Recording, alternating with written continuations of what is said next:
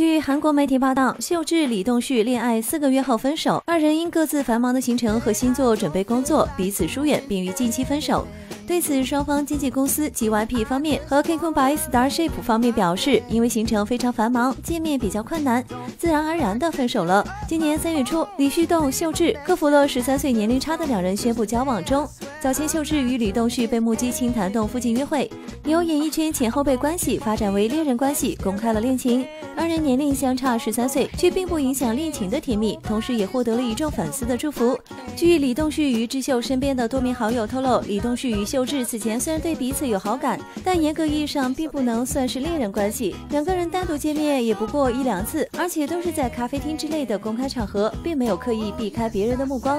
今天媒体突然曝光两人正在交往的消息，让李栋旭和秀智也非常意外。不过想到此前见面时有可能被媒体拍到了照片，而且原本就对彼此有好感，李栋旭与秀智干脆决定借这个机会正式开始交往，所以才会通过经纪公司承认了恋情。